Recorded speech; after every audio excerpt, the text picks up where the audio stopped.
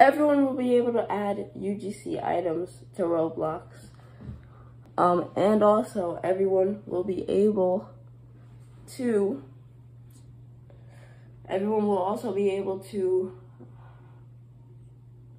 make their UGC items limited. And I'm also going to shove something else in here. Immersive ads will be popping out, popping up um, on Roblox soon, or they might have already.